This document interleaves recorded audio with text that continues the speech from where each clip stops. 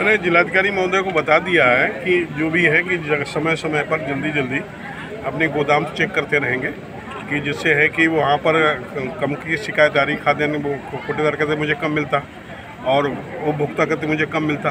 दोनों की शिकायतें दूर हो जाएँगी एक जो जड़ है हमारी गोदाम गोदाम से पूरा जाए फिर कोटेदार यदि कम बांटता है तो कोटेदार पर भी कार्रवाई हो।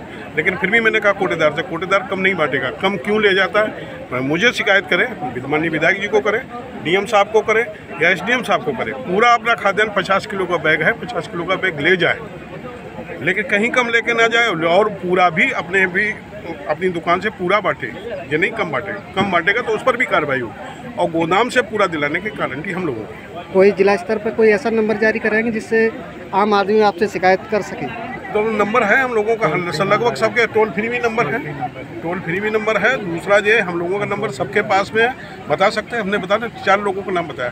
एसडीएम साहब का भी बताया डीएम साहब को बताया माननीय विधायक का बताया अपना बताया।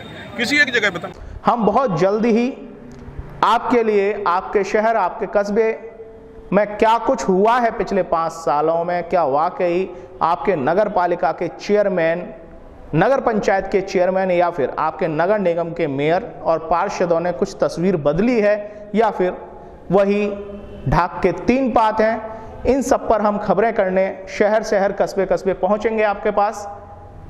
तो अगर आपके पास आपकी गली मोहल्ले की कुछ तस्वीरें हैं, जहाँ गंदगी का अंबार है या फिर क्या वाकई कुछ विकास कार्य हुए अगर आप भेजना चाहते हैं तो हमारा जो नीचे व्हाट्सएप नंबर डिस्प्ले पे आ रहा है, आप इस पर व्हाट्सएप कर सकते हैं।